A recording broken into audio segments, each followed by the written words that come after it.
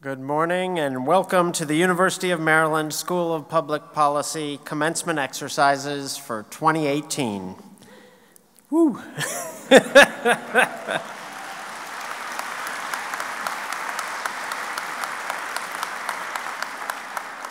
when you're dean, you learn to take a cue from your students. I'm Robert Orr, Dean of the Maryland School of Public Policy, and I am delighted to share the excitement of this day with friends, family, and of course, our graduates. Today is a celebration of our amazing students gathered here, graduates, and our first trailblazing class of undergraduates.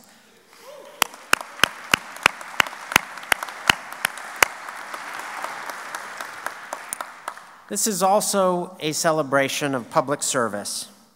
There is no higher calling, no more noble endeavor. We are very excited about the challenges, the opportunities, and the success that we know lie ahead for our graduates. You will, quite literally, change the world for the better. No pressure. That is not to say that it will come easy you enter a world and a field that is quite different from the one when you step through our doors for the first time. The world is on fire in many ways. There are more refugees and displaced persons in the world today than at any time in recorded human history. Nationalism is an increasing force in global politics, and populism has come to power in various countries with devastating consequences. Here in this country, we are suffering through a period of radical doubt about our institutions, our leaders, even our values. Inequality is at historic highs and growing. Race, always a powerful force in American society, is wielded in 2018 as a weapon against those perceived as different. Black and brown lives matter, but not enough. We are polarized as never before, with words like bipartisan and even cooperation being used by some as an epithet. The term civic virtue sounds quaint, outdated. If this is a sobering reality to begin a commencement ceremony with, it is. But against this, we have many people, especially those here in this room, who do not accept this reality, who expect better. We have public servants, bridge builders, ethical and humble people, innovators, bold thinkers, collaborators, and believers who see that the world can, what the world can and should be, and who are working relentlessly toward a better world. All my colleagues here with me on the stage will confirm that it is true that professors learn from their students. We are also inspired by you. Your determination, your faith in the future and each other, and your immense capacity to change the world for the better has inspired us. And it has inspired me to believe in the prospect of a brighter future. That, my friends, is power. And for that, we thank you. Two years ago, on your watch and with your help, we made the University of Maryland the country's first do good campus. And you here in this school have been the driving force. You are the epitome of students who not only do well, but also do good. And you have done so in our neighborhood, in Prince George's County, in the great state of Maryland, in Washington, D.C., and all over the world. You are not waiting to make a difference. You already have, and you continue to do so. As your dean, I could not be prouder. At the same time, I am humbled by the leadership you have demonstrated in these challenging times. Graduates, all this pomp and circumstance is for you. You have earned this, but it's also for your families, your friends, your loved ones. They too have worked hard and sacrificed a lot for this day. So please stand and give them a round of applause.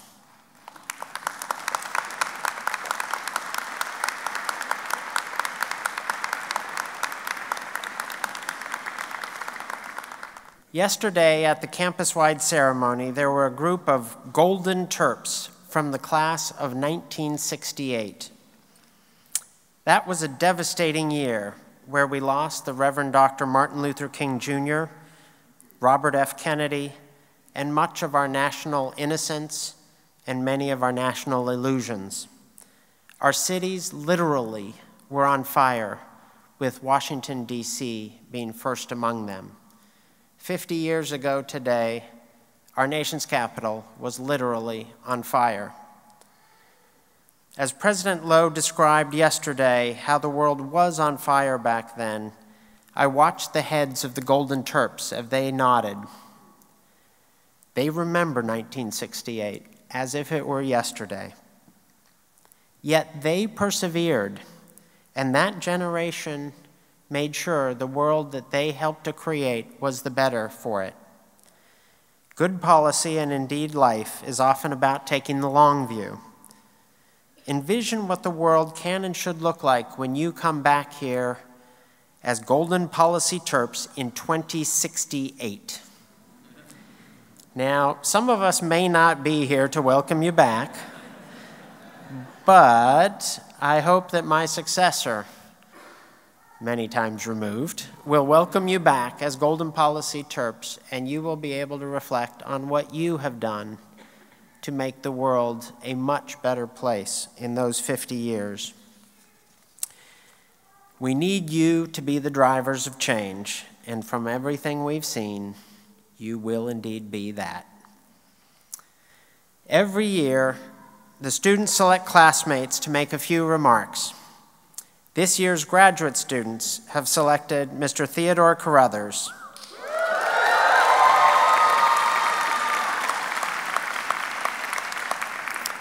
It's really hard to tell why they selected him.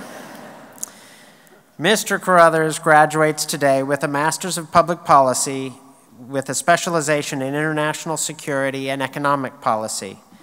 During that time, he served as the vice president of the Black Students in Public Policy Student Group and as a teaching assistant for two of the school's foundational undergraduate policy courses. Previously, he earned BAs in International Studies and French from Morehouse College. Mr. Carruthers proudly cites his parents and two older brothers as positive role models who shaped him in his formative years. Mr. Carruthers, the floor is yours. Greetings, everyone. Uh, unfortunately, I don't have any good jokes for you all today, so we'll just go ahead. Uh, thank you, Dean Orr, not only for the kind words and the support and the friendship, but for this wonderful tie that uh, it's got Maryland pride. I'd like to acknowledge the distinguished guests, deans, staff, faculty, family members, and friends who traveled great lengths to be here today. I'd be remiss if I didn't give special acknowledgement to a few people here today, but before going forward, I'm reminded of a phrase that I've often heard throughout my life that if it had not been for the Lord, where would I be? And I'd like to take time to thank God for allowing me not only to see the end of this program, but to see the program with you all. I understand that I too could have been another Richard Collins who did nothing wrong but was slain because of hate and the color of his skin. So I'm grateful that God allowed me to see the end of this program with you all.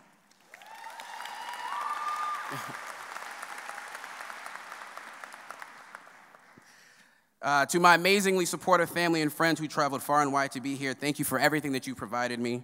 Words cannot express how much it means to me to see you all here today. To the faculty and staff who let me bother them to no end, the entire second and third floor, and my family in the undergraduate department, thank you for always welcoming me and challenging me to further myself. And last but certainly not least, I'd like to thank my wonderful, beautiful, intelligent, supportive girlfriend and fellow graduate Taryn Levels. I'm glad grad school brought us together, even all the way from California. and to you, my fellow graduates, thank you for allowing me the honor to share some final thoughts with you all, as well as accompanying you through this journey through 688Y and teaching baseball, uh, reading Evicted with Professor Duke, and arguably our favorite bonding experience of project course. I'm proud to call all of you friends, and I have no doubt in my mind that in the end, we will change the world for the better, whether that's in Baltimore, PG County, DC, Howard County, or even Haiti. In reflecting on what I should tell you all today, I settled on a reminder a reminder of what encouraged us to pursue this life changing field called public policy. We all enrolled in this program because we had aspirations of responding to public problems in their various forms, whether that takes the form of good governance, a lack of affordable housing, or environmental policy more broadly. Each of these issues require a policymaker who pursues and enacts good and effective policy. These issues require a policymaker who actively seeks opportunities to do good in their community and a policymaker with a multifaceted approach to problem solving for government at each and every level. I'm here to remind you all that you are that policymaker. I'm here to remind you all that your greatest contribution to society has yet to manifest itself. Our greatest contribution as policymakers won't be the many problems we've solved, nor will it be the awards accrued over our careers. Our greatest contribution won't be seeing the amazing advancements we've pioneered in our respective fields, nor will it be the correction of social injustices that have plagued minority and marginalized communities for decades. Our greatest contribution as policymakers will be that when others heard no, we heard find another way. Because policymakers are in the business of helping people, and without people, we're pointless. Each of us have had our struggles as policy students, but those struggles have only brought us closer. Whether struggling through 610, taking 611, or finding that perfect internship while getting a master's degree. I'm here to remind you all that you did it. In spite of trials, rejection letters, and those employers that didn't get back to us even though we applied, you did it. We've all found comfort in different ways being in this program. Some of us dropped by Trisha's office for some positivity. Some of us befriended the deans. For some of us, happy hour became quite too common. And um, for others, seeing Professor Duke was all we needed to feel better. As I close, I want to leave you all with three final thoughts. One, never forget the value of community and being a change agent, a change agent for inclusive policies at all levels of government. Understand that hard work is necessary and remain a fervent advocate for issues encompassing well-being for all. Two, remember that there's no one-size-fits-all approach to policymaking. We all have unique perspective and defining experiences. And finally, when you enter into the world after leaving SPP, remember what lured you into this field. Remember your why, and remember to be patient, because there will come a time where someone will depend on you to become a change agent. Congratulations to all the class of 2018.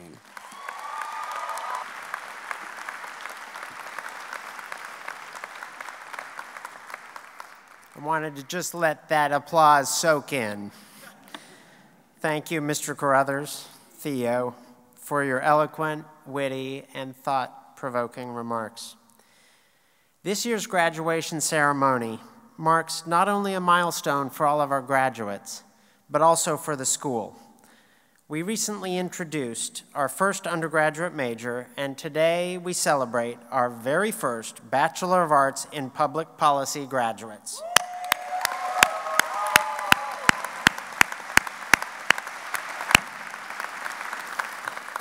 See, you blend in so well, I can't even find you in the crowd. Where are you? Hands up, right there. Good. This year's graduation ceremony marks not only a milestone for all of our graduates, but also for the school.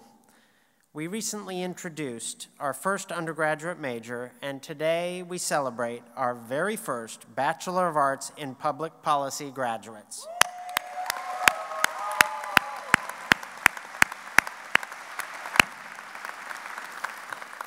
See, you blend in so well, I can't even find you in the crowd. Where are you? Hands up, right there. Good. I want to personally congratulate, congratulate you and thank you for being those trailblazers. There will be many who come after you. Uh, we couldn't be prouder of our first group of graduates as uh, Bachelors of, uh, uh Bachelor of Arts in Public Policy graduates. This year's BA in Public Policy students have selected Mr. Mari Lemmy to re represent them in today's ceremony.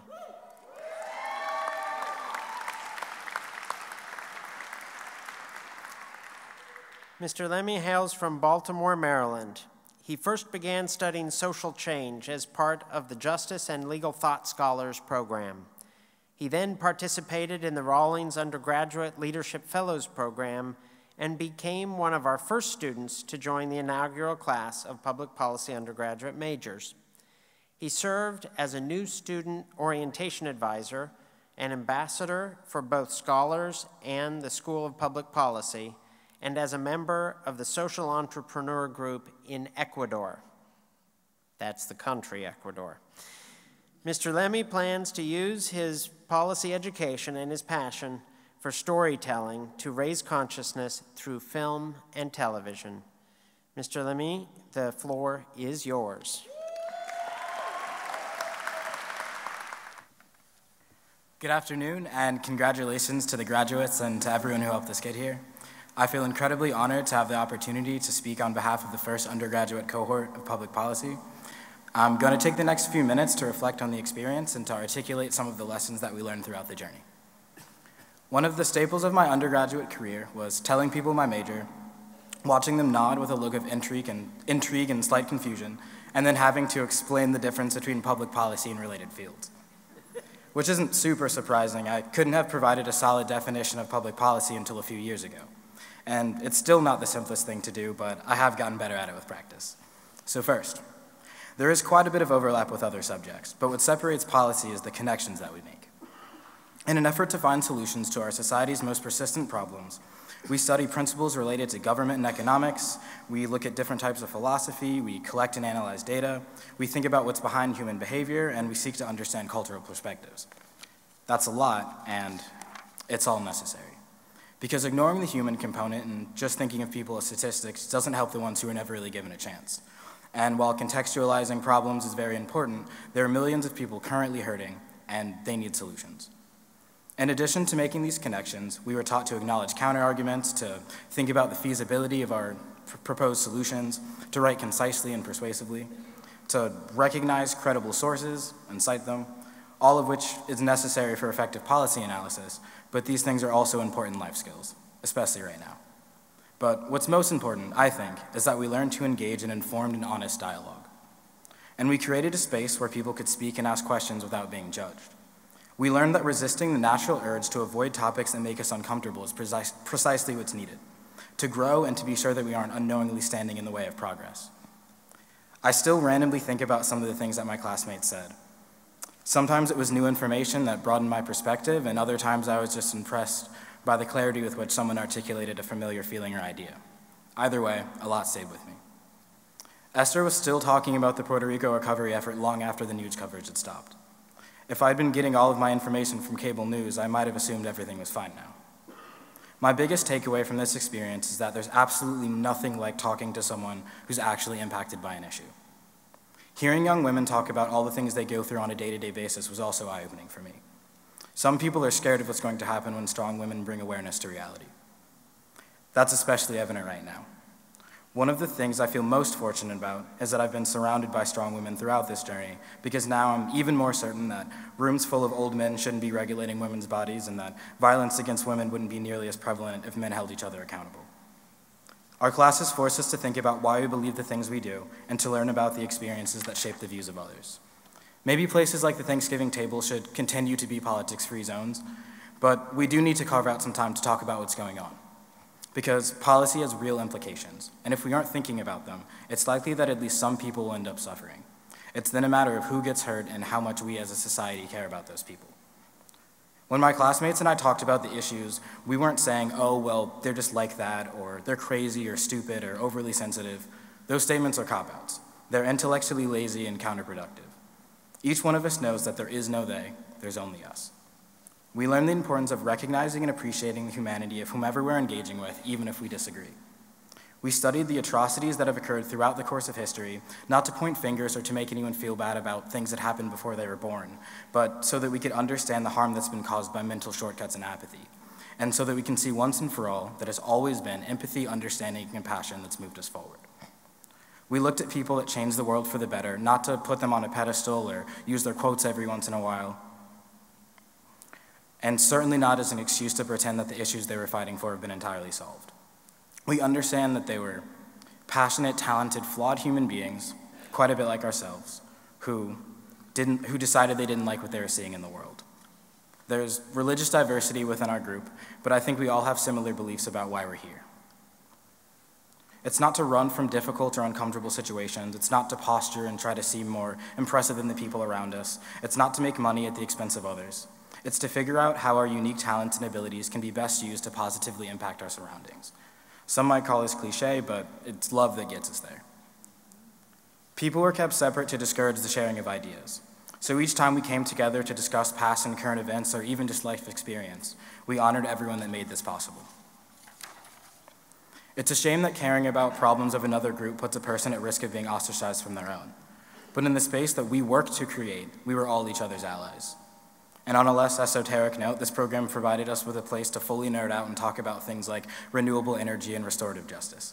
It's a beautiful thing. Whether we were venting about our dissatisfaction with the current state of the world, or respectfully disagreeing about solutions, or collectively regretting putting off assignments, we were benefiting from the little bit of light that we created for ourselves in what seemed like a pretty dark time. An underappreciated part of the change making progress is allocating some time for joy. We did that by showing each other pictures of our pets, by going out, by sharing funny stories. One of my biggest regrets is that we didn't make the group chat earlier, because it's things like that that make life a little less hard. Though we've all become somewhat desensitized to violence, the compassionate among us never really get used to waking up to news notifications about atrocities that could be entirely avoided if more lawmakers were willing to use common sense. Sometimes we felt like we were stuck on the sidelines at a pivotal point in history. Personally, I'm not sure how I would have dealt with the frustration had I had not have I, had I not had this sort of support system. Recently, there's been a lot of talk about the audacity of this younger generation. Perhaps certain criticisms are valid, though I'm confident we'll work through the kinks in time. But what deserves to be celebrated is that many of us have reached a consensus that all people are actually equal. We're using new technologies to learn about each other, and we're ready to face history head on. We're envisioning a better future for all of us, a time when selfless educators are actually provided with the tools they need to shape our youth, and no one is at risk of being harmed while merely trying to exist in a public space. A time when we prioritize our planet and its inhabitants over profit, and where we all take a, scan, a stand against problems that will never touch us. It's important to know that there is always opposition to the truth, to know that some people who benefit from the current status quo will question our motives, and to know that we're all part of a bigger plan. I'll begin to wrap this up with a lesson that Dr. Harris taught me in regard to my own life, but that also applies here. There's no going back. This is all part of the story now, so, what are we going to do next? I don't have all the answers. More than anything, this experience has taught us how to go about finding them. I know that it involves listening, reading, thinking out loud, questioning what we think we know, unlearning, remaining patient while rejecting complacency, and communicating our findings as clearly, deliberately, and kindly as possible. I know that the divisiveness and the nastiness that we're seeing right now is temporary because we're all committed to doing that. So, this was preseason, boot camp, practice, whatever you want to call it. If we weren't ready, we wouldn't be here right now. So really, it's just a matter of time. I want to take this opportunity to say thank you for allowing me to remain optimistic. Better days are coming, and I look forward to getting there with all of you. Congratulations again.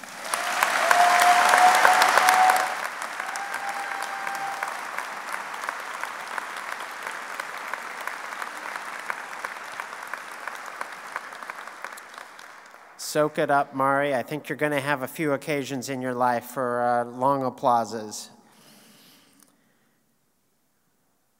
I want to thank you for those inspiring remarks. And a few minutes ago, I said professors learn from their students.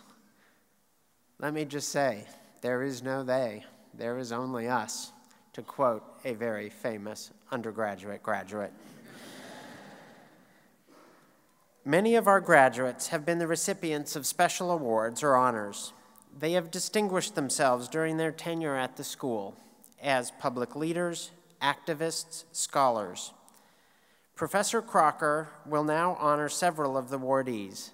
Professor Crocker has served as a senior research scholar in the School of Public Policy since 1993. He specializes in international development, ethics, socio-political philosophy, transitional justice, and democracy. And he has served as the school's head of international development programs for many years. Professor Crocker.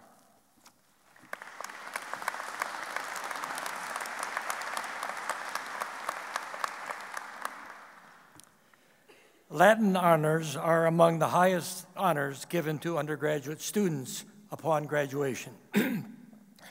This year, the School of Public Policy's Latin honors were established by an average GPA ranges from across all colleges at the university.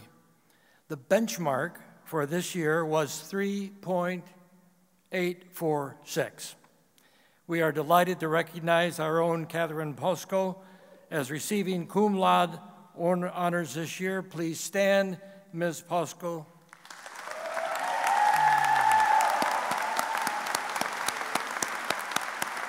Congratulations. Next, we honor the graduates who have been inducted into Pi Alpha Alpha National Honor Society. The Pi Alpha Alpha National Honor Society encourages and recognizes outstanding scholarship and accomplishment in public policy and administration, education, as well as integrity, professionalism, and effective performance in the conduct of government and related public service. Only students and graduates meeting the highest academic standards are invited to Pi Alpha Alpha. I am delighted to recognize the students from this year's School of Public Policy graduating classes who have been so honored. When I read your name, please stand up and remain standing until each name has been announced. Please hold your applause until then. The PAA Honor Society inductees among this year's graduates are Stephanie Arzaga, Leon Byrne, Christine Bogan, William Creedon, Maria Victoria Curza, Isaac Muneni Ndereba. Congratulations. Let's applaud these students.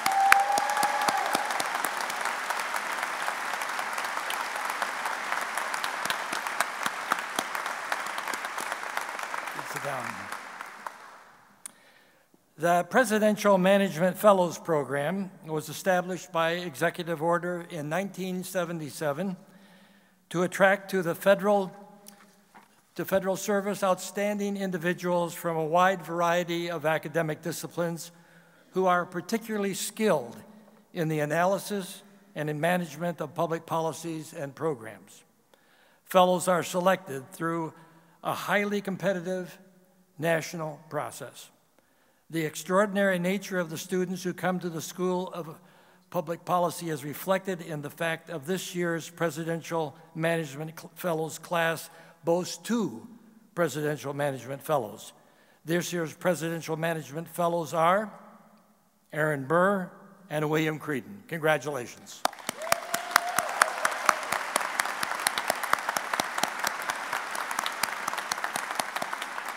I think they should stand up.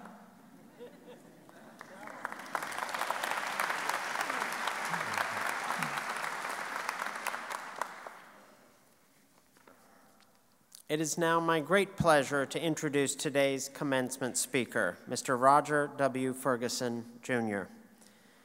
Born and raised in Washington, D.C., Mr. Ferguson has left his mark on the world, the whole world. He is the ultimate Renaissance man, having served at the highest levels of government, business and finance, and the nonprofit sector. As the president and chief executive officer of TIAA, one of the world's largest and most successful financial services firms, Mr. Ferguson has secured the retirement, excuse me, secured the retirements of countless employees who have served the public good. As vice chairman of the Board of Governors of the U.S. Federal Reserve System, among other things, he led efforts to secure our financial system in the wake of the attacks of 9 11. And he has shown us what good governance looks like as a member of the board of global, pi- uh, excuse me, as a member of the board of global private entities such as General Mills and Alphabet, the parent company of Google, and major nonprofits such as the Smithsonian Institution, just to name a few. He has loudly and proudly advocated for diversity and inclusion on all boards and across the corporate workforce as a business imperative. And closer to home, for us here at SPP, He has actively supported our Do Good initiative and our students. In short, Mr. Ferguson embodies what we want our graduates to be. He is a successful leader, full of fearless ideas, who has not only done well, but also done good in every sphere for all. Mr. Ferguson, the floor is yours.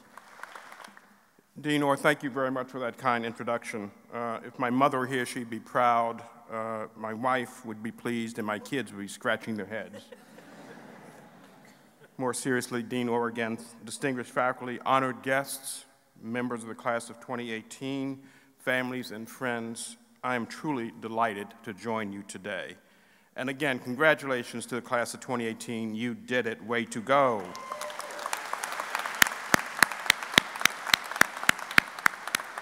As the Dean has already indicated, you deserve all the pomp and circumstance of this happy day. And as he also indicated, it's important to give a special shout out and congratulations to all the parents, family, and friends in the audience for all the support, emotional, financial, and otherwise, that you've given to the class of 2018 in their journey to this moment. I thought I heard some applause for that as well.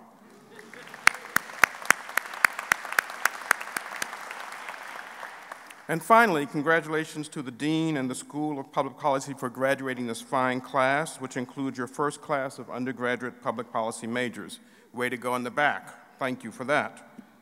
This is yet another important milestone in the distinguished history of the University of Maryland School of Public Policy. So, class of 2018, my job today is to offer up some so-called words of wisdom to help you navigate the journey ahead.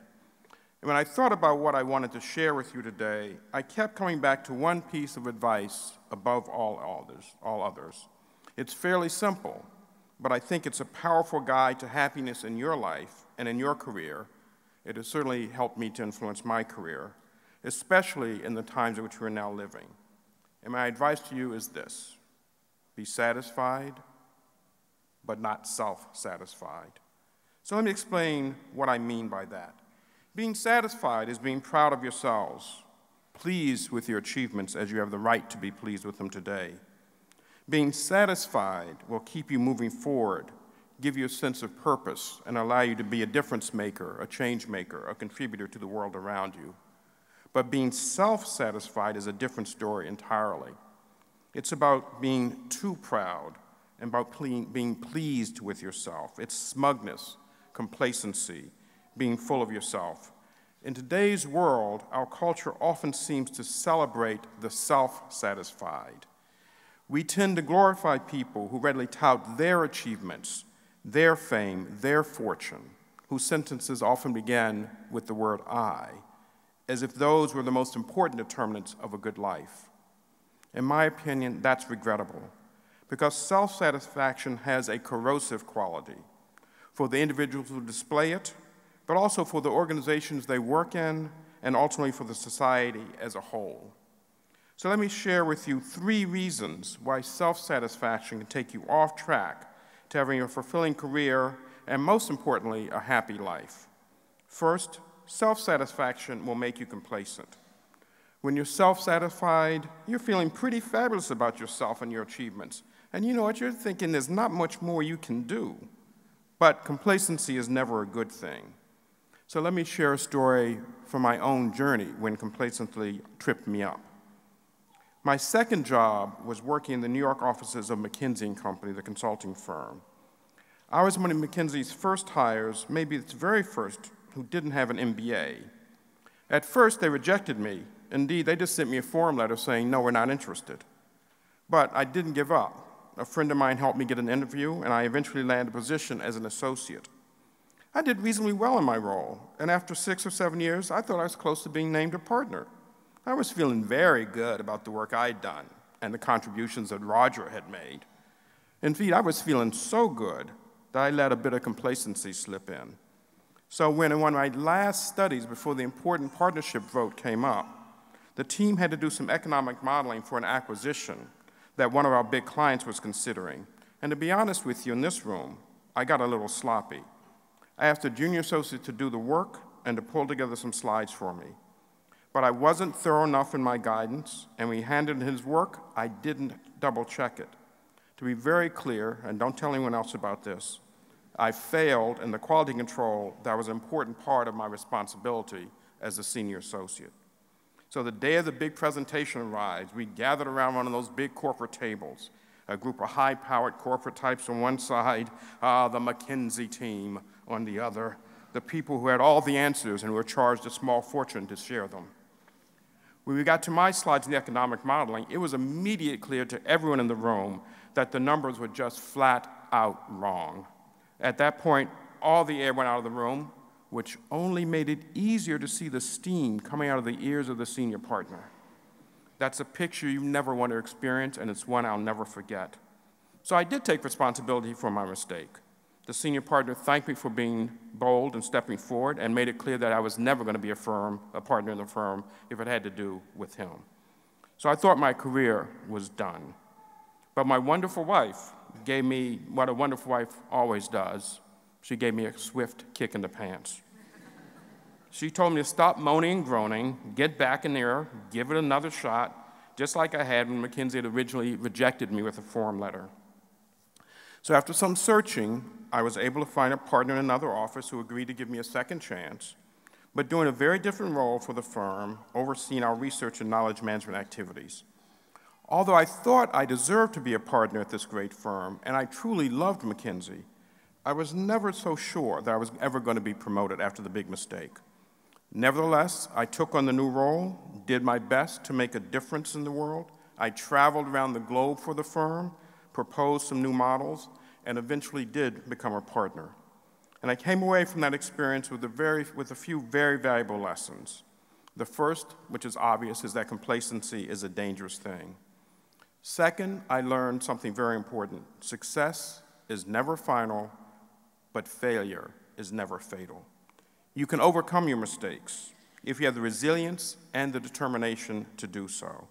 And last, but certainly not least, I learned the importance of marrying a woman who would give you a swift kick in the pants. it was my wife who convinced me to not give up.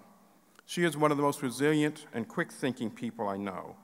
She tells a great story about overcoming mistakes that I will share with you today because I think it will particularly resonate with a group of public policy graduates. My wife spent 10 years in public service at the Securities and Exchange Commission when I was at the Federal Reserve including three as an SEC commissioner. At one point, she was at the World Economic Forum in Davos, where the great and the good meet to pat themselves on the back. And at one of those dinners, she found herself seated next to a very important looking man that she didn't recognize. Endeavoring to make conversation, she asked him what he did for a living. And he responded very proudly. He said, I am the president of Slovenia. My wife was a bit embarrassed, not knowing that. As she said, she should have read The Economist. But she rallied quickly with another question. She said, Excellent. And what did you do before you were the president of Slovenia? He responded, I was the president of Yugoslavia. At this point, my wife was sheepish, but she did not fall apart. She looked him right in the eye, she smiled, and she said, Your mother must be very proud. he smiled back, the ice was broken, and from that point on, they had a delightful dinner conversation. So remember, mistakes are rarely fatal. Own them, you'll become stronger and more resilient. The second point I want to make about self satisfaction is that it will warp your attitude toward your job. If you want to be successful, attitude is everything. Not attitude, but the right attitude. You must come to work ready to do your best at whatever job you may have. I credit my parents for teaching me that no job is ever too small to do well. They had a clear expectation that whatever you did, whatever I did, whatever anyone did, do it well the first time or you do it over again.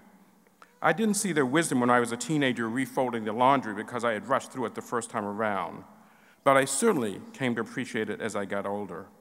My work study job for the first two years in college was cleaning dorm bathrooms, two hours a day, Monday through Friday, 10 hours a week, cleaning the bathrooms of other Harvard freshmen. Not the most glamorous or sought after job, as you might imagine.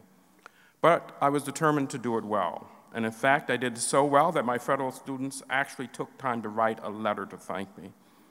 I'm still proud of that. But more to the point, the experience worked a muscle, not this muscle, but a muscle up here that I call the no job is too small muscle. You have to do that again and again. You have to work that muscle up here that reminds you that no job is too small to do well. When you're self satisfied, you're tempted to see certain jobs and tasks as beneath your dignity. After all, you have graduated from the University of Maryland School of Public Policy. Instead of focusing on doing your best job, you focus on moving to a bigger and better job, and the risk is that your work suffers. You have to earn the opportunity to advance, and you do that by performing with excellence no matter the task, small or large. As I mentioned, attitude is so important. You'll be happiest, I believe, when you adopt an attitude that prizes lifelong learning and when you approach your work itself as a learning opportunity. That was my experience at the beginning of the Fed.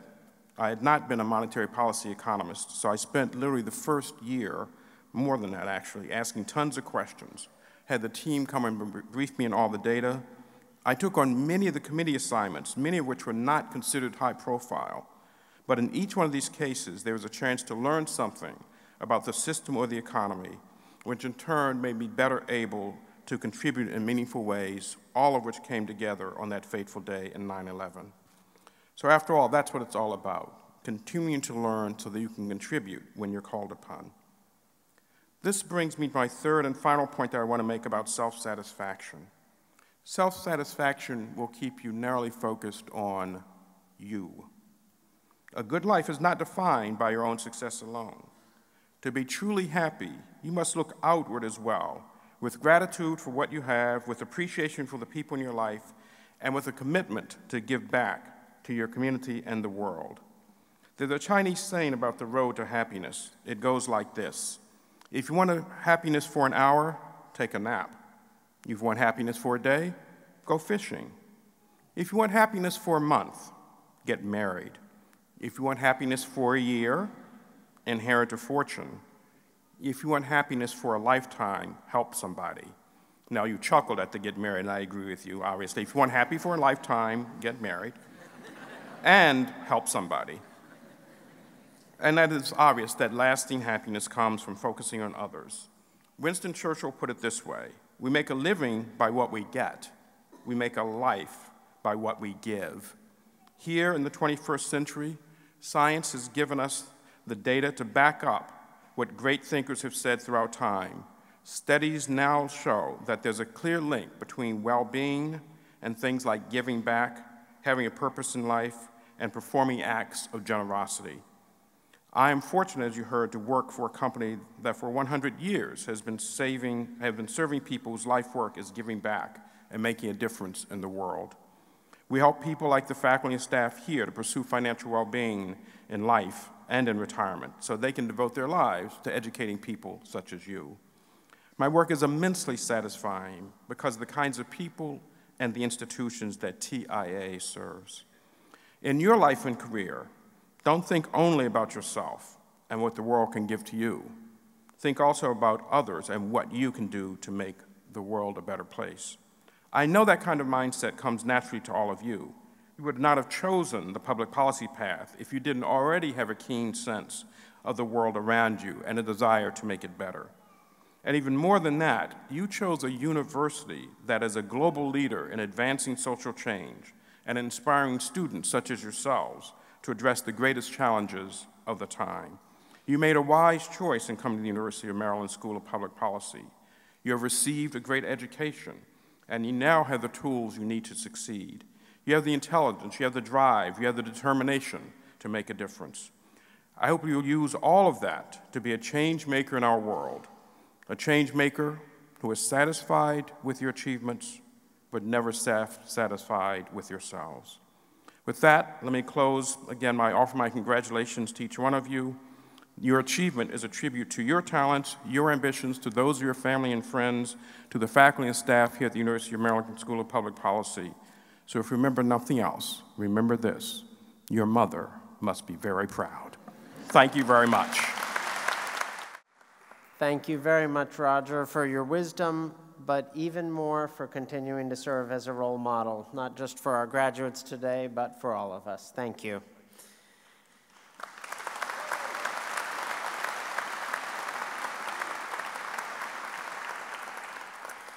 And now the moment we've all been waiting for graduation. We'll begin with the students who will be receiving the university's highest degree, the Doctorate of Philosophy. To introduce our PhD graduates, let me introduce the director of our doctoral program, Professor Robert Sprinkle. Professor Sprinkle holds two doctorate degrees, because one just isn't good enough a PhD from Princeton University's Woodrow Wilson School of Public and International Affairs, and an MD from the University of Cincinnati. He specializes in clinical medicine, bioethics, health policy, bioengineering, environmental policy, political theory, and biosecurity. Professor Sprinkle.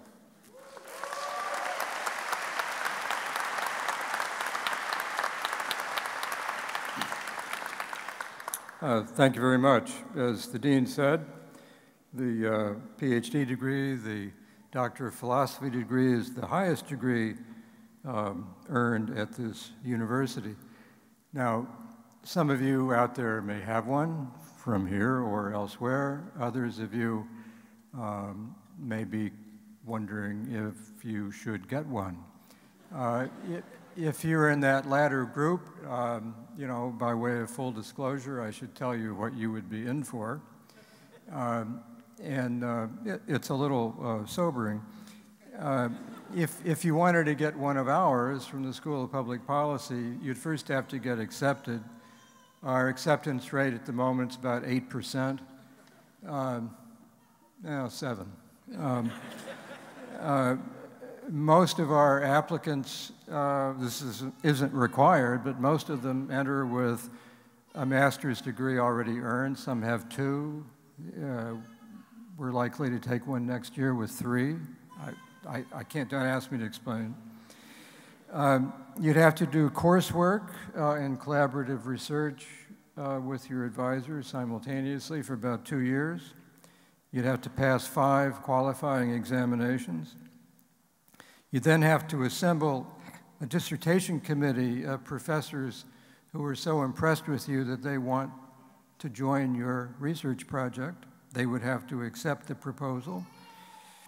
You'd have to assist with teaching as the opportunity would, might arise. And then you'd have to write and defend a dissertation in public. Uh, now, the dissertation itself, uh, I, I, used to do a seminar in the dissertation as a scholarly form. All we read were dissertations, other people's dissertations. We always spent a lot of time on the dedications and the acknowledgments. Um, in the dedications and acknowledgments, you get the impression that writing a dissertation is traumatic, uh, it's gratifying, and it's transformative. Uh, People thank their parents and their grandparents. They thank their professors. And if they have them yet, they thank their young families, uh, their unhugged spouses, their untickled children, and their unwalked dogs. the dogs are always named and, if possible, identified by breed. Naoko Aoki and Professors Destler and Gallagher, please come forward.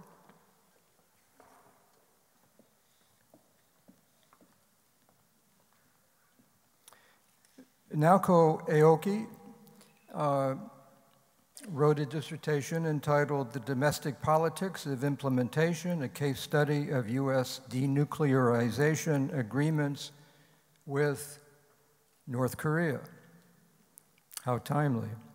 Uh, her committee was co chaired by Professors Mac Destler and Nancy Gallagher. Naoko's dissertation studied implementation of the 1994 agreed framework and six party talks and found that the United States moved away from full cooperation with North Korea.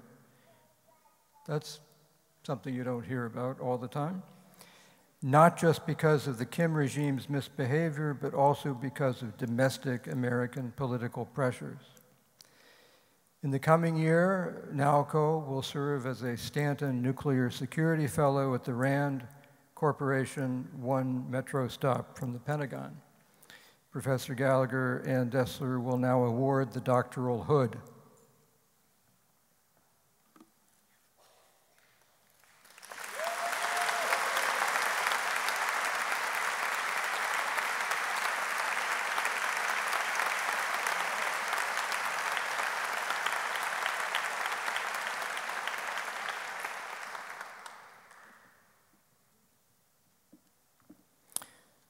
Sarah Dickerson and Dave Crocker, please come to the stage.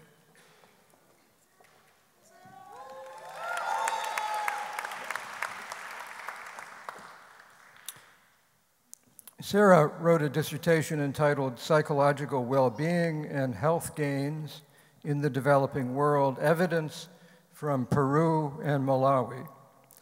Uh, Sarah's uh, dissertation committee was uh, chaired by Professor Graham, Carol Graham, who is attending her own son's graduation today. Uh, Professor David Crocker was on Sarah's committee. Uh, Sarah found that working uh, in working in poor communities in South America and sub-Saharan Africa, um, Sarah studied the emotional well-being of mothers and tested its correlation with children's outcomes confirming an intuitively sensible association for all mothers out there and children. That takes care of most everybody. Um, this makes sense. But, but she then asked if maternal depression predicted a range of specific negative choices in adolescents in their children and found that it did. And went on to ask if the, most, if the more effective management of mothers' mood disorders and chronic illnesses, and this, let me remind you, is in poor people in Peru and in Malawi, not in Montgomery County, right? Um, and went on to ask if more effective management of mothers' mood disorders and chronic illnesses, including AIDS, would reduce catastrophic spending and she found that it would. Sarah is now working with the Global Economy and Development Program at the Brookings Institution. Uh, Professor Crocker, uh, please award the doctoral hood.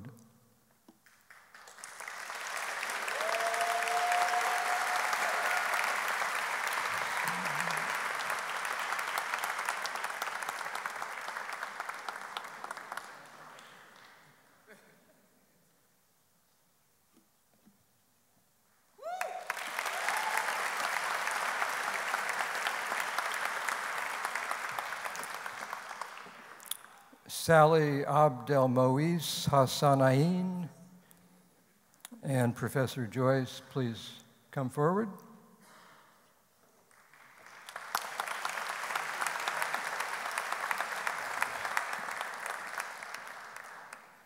Sally's dissertation committee was chaired by the aforementioned Professor Joyce.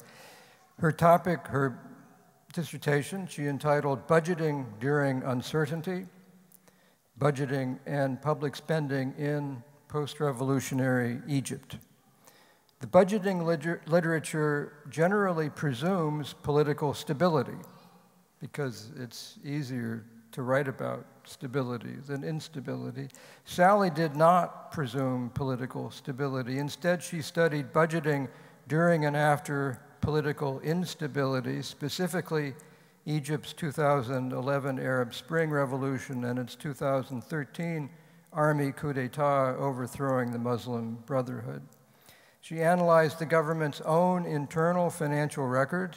How she got them is not entirely clear.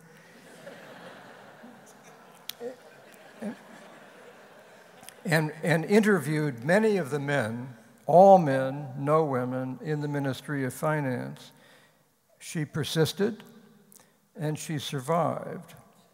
And so barely did the Egyptian economy. Professor Joyce will now award the doctoral hood.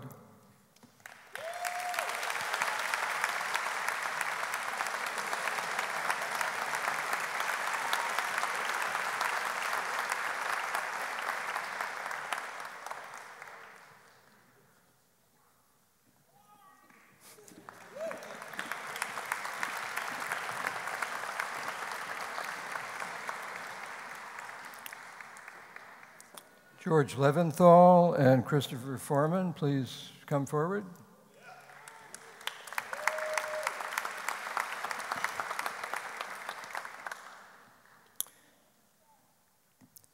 George uh, wrote a dissertation entitled The Stubborn Persistence of Homelessness. George asked if the 100,000 home, homes campaign, which enlisted 186 communities across the country between 2010 and 2014, if it, he asked if it significantly reduced chronic homelessness, finding uh, contrary to expectations, that it did not. However, it did help communities better understand the inflow of persons into, the chronic, into chronic homelessness and encourage these same communities to establish evidence based practices to keep people housed. George, as many Marylanders would know, is a member of the Montgomery County Council and a candidate for Montgomery County Executive. Now, we do not endorse George's candidacy, but we do endorse his dissertation and um, congratulate him on his current and future successes.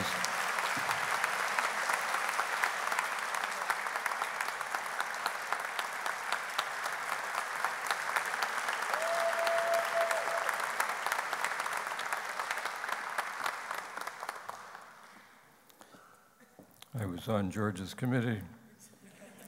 It was quite an adventure. Uh, all right, uh, just one final comment. Uh, Dr. Aoki, Dr. Dickerson, Dr. Abdul Mois Hassanain, Dr. Leventhal, and Dr. Pardo, who could not be here because he had to attend a family emergency in California. We welcome you heartily into the company of scholars.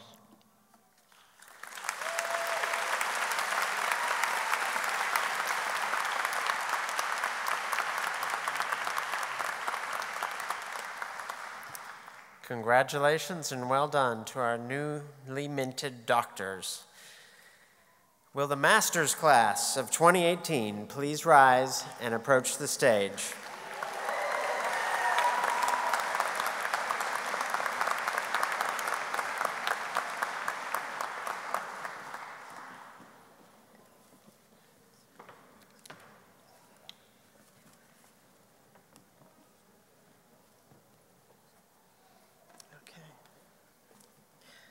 The candidates for the Master of Public Policy Ahmad bin Abdullah.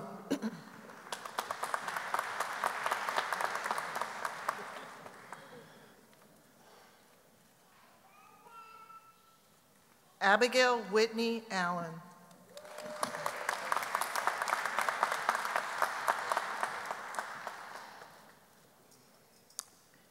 Elizabeth Jane Allison.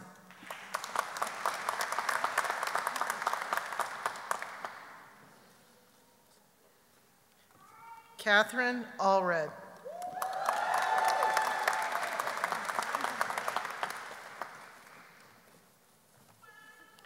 Stephanie Marie Arizaga.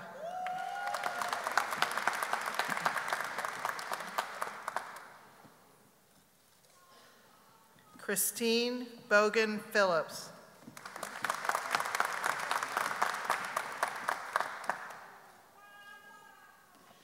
Swam Borjas.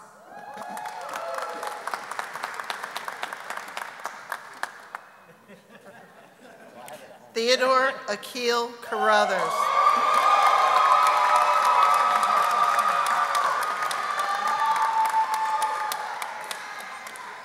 Patrick Michael Cochran.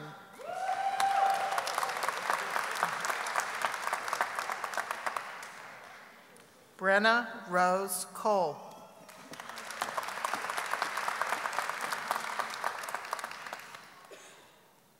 Shannon Corrigan.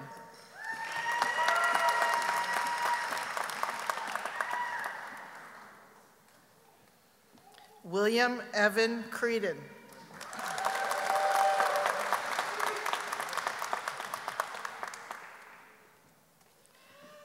Maria Victoria Corzel.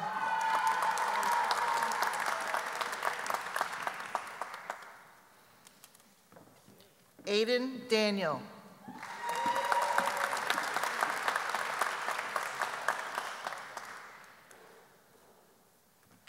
Marcela Bonetto de Campos.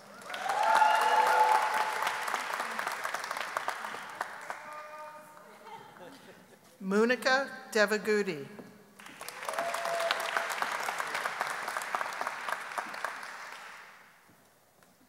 Kelly Christine Dwyer.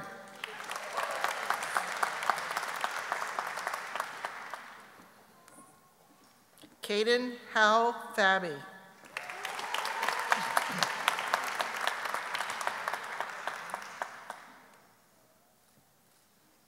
Ellis Ann Field.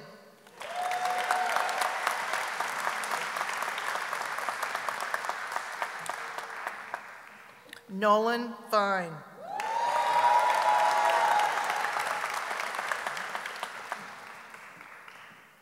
Sarah Louise Foster.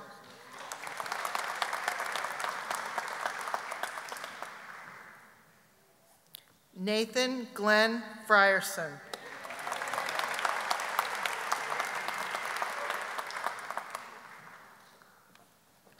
Maria Paz Gomez.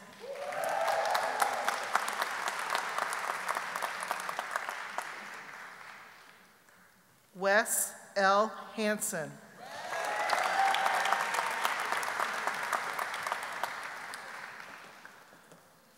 Brian P. Harrison.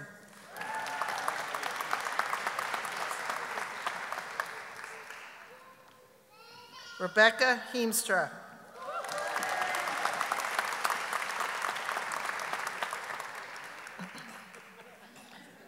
Thomas Michael Jones.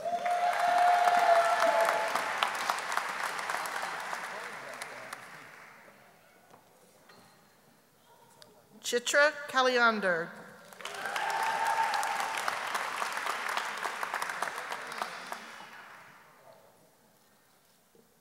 Nina Kuadyu.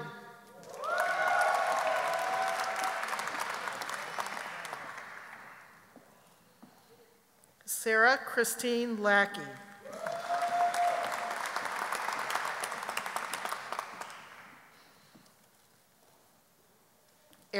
Larger.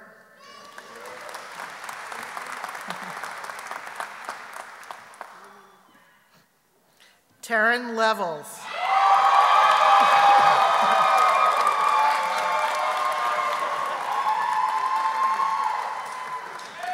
Aline Paola Lewis.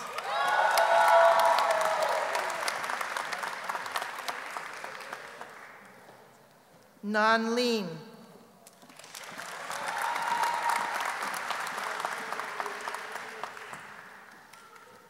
Tao Yu Liu.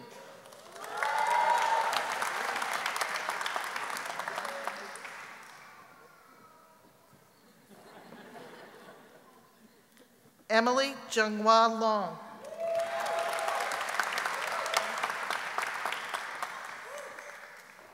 William Andrew Morose.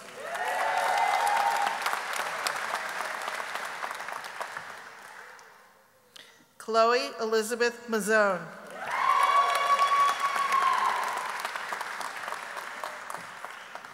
Leslie McNamara.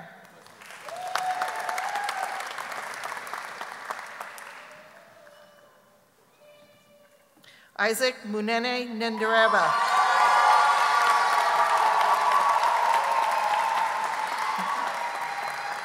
Diane Neville.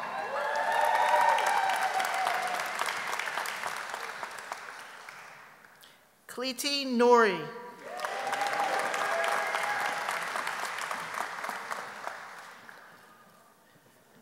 Oluwatobi Akpayemi.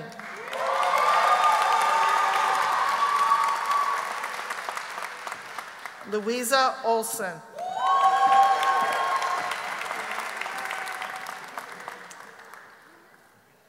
Renuka Pai.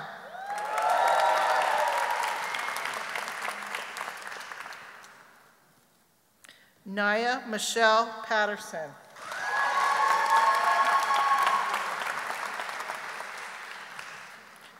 Corrine Alexandra Paul.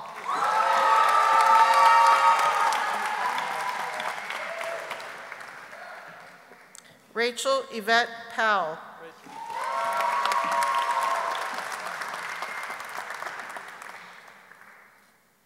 Andrea Victoria Prada Hernandez.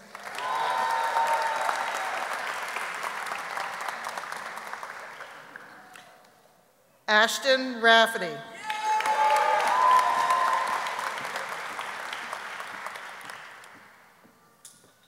Catherine Emily Rollin.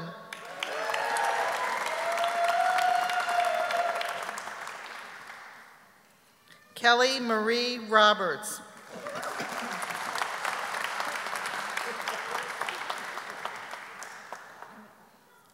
Nicole Rodriguez Hernandez.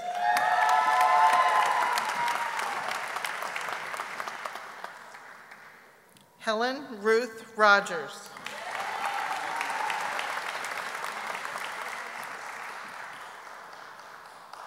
Emily Sandus.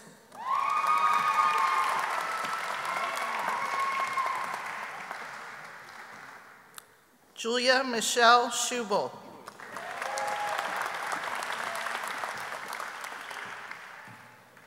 Christopher Scott.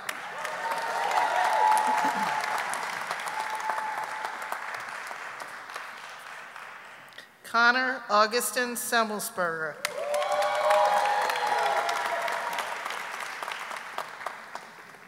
Stone Eisenhower Schoaf.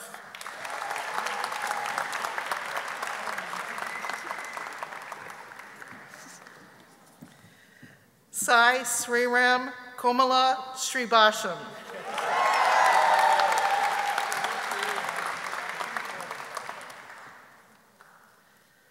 Amog Srinivasan.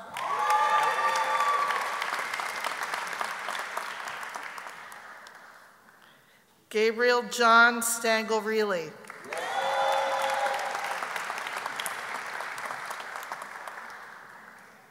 Kayla Steinberg.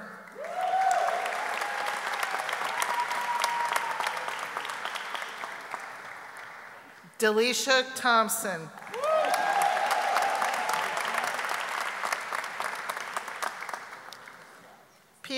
Seamus Tobiasen.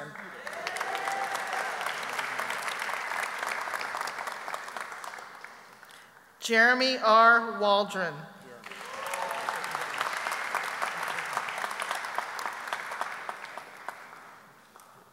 Christopher Tate Walkup.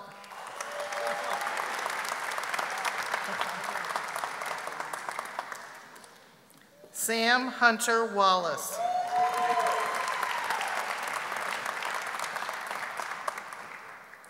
Adriana Marie Woliver.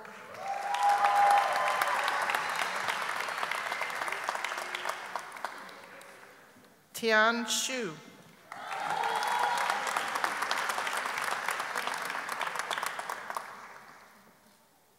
Huerta Zaman.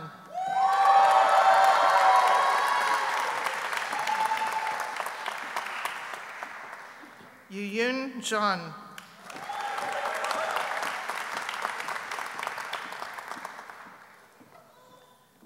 Zili Jung.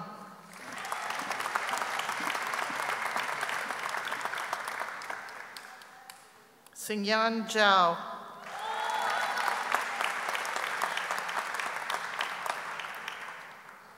Yuja Zhao.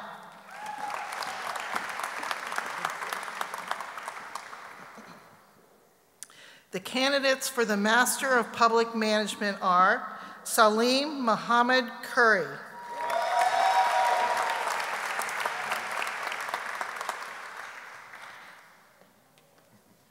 Caitlin Dubois.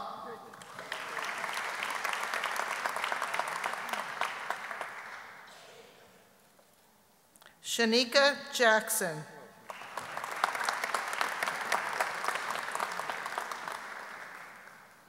Glenn Edward Ladane.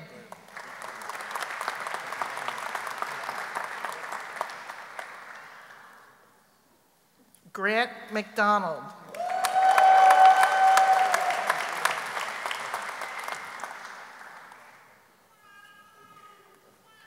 Raj Pandy.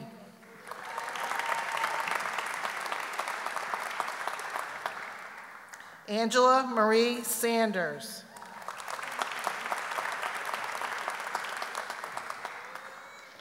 Yevgen Zagudayev.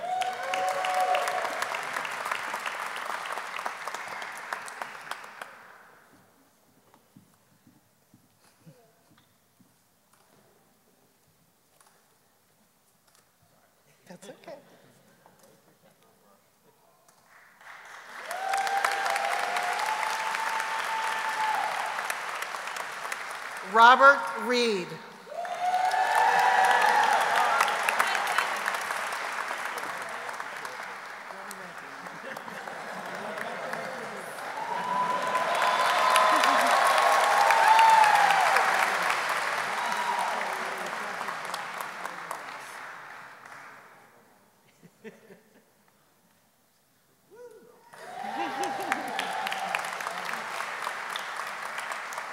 the candidates for the Master of Professional Studies in Public Administration.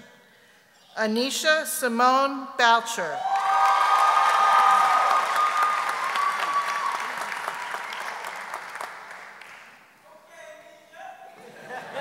Lee Chow.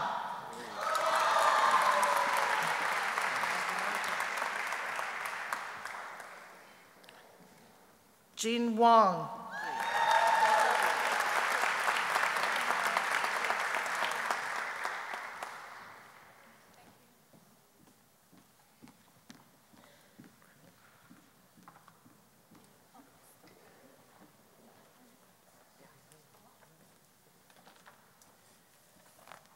Congratulations to our newly minted master's class of 2018.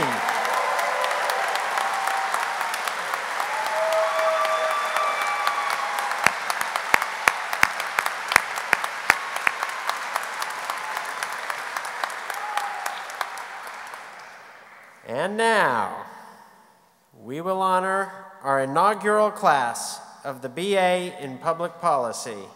Will the bachelor's class of 2018 please rise and approach the stage?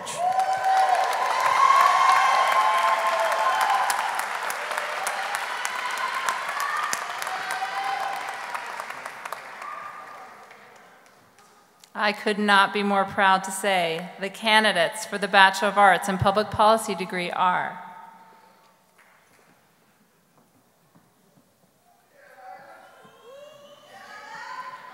Proma Chadray.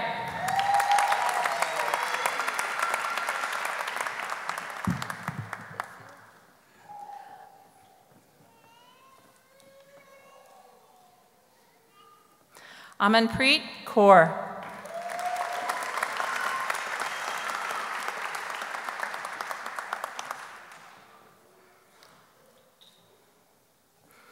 Omari Christopher Lemie.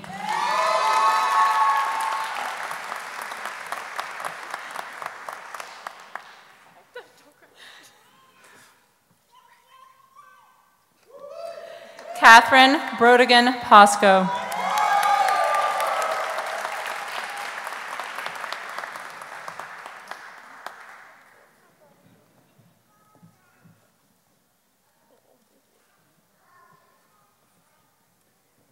Esther Lourdes Rodriguez.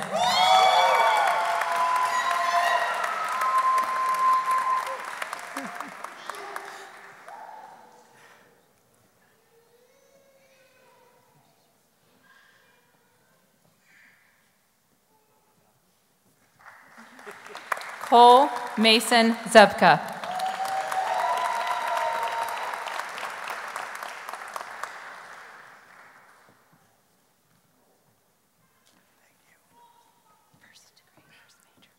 Michael Diamante Sanchez.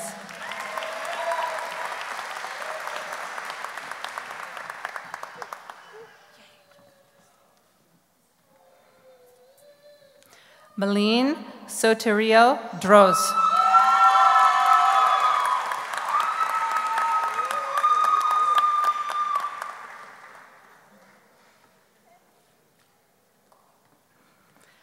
Jordan Malik Texera.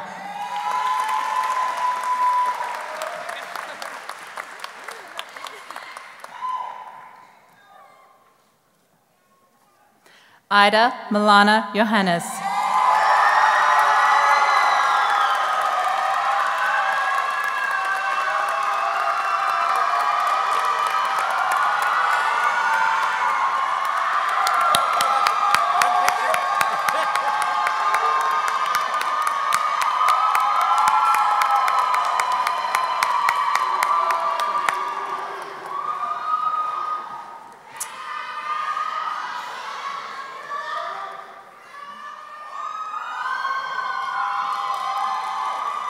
All right, let's hear it.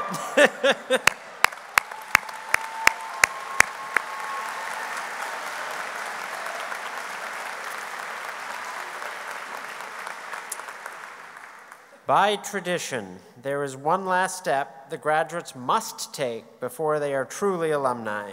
Mr. Carruthers and Mr. Lemmy, will you please return to the stage to lead your peers in one last critical action?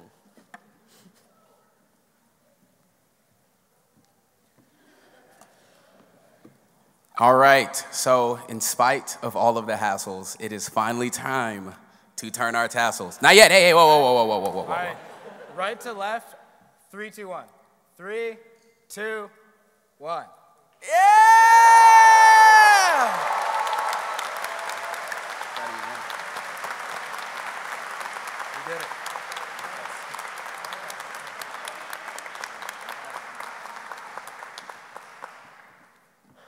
This concludes our formal commencement ceremony. Family and friends, please remain seated until the platform party and graduates have recessed. Graduates, after you recess, please move to the large staircase just outside so we can take pictures of your classes uh, by groupings. Uh, and then we will ask the faculty to join you for another photo. So just a little bit of patience, we can get our photos done. And then we would like to invite everyone to a reception to honor the graduates in the grand ballroom at the Adele Stamp Union. Uh, this is not far away. It's a fairly easy walk, but if you would prefer, we do have a bus that will pull up in front of this building that will take you to the Stamp Union. But it's uh, no more than a five minute walk if you choose to walk. So, with this, we conclude the 2018 commencement ceremony of the School of Public Policy. Congratulations.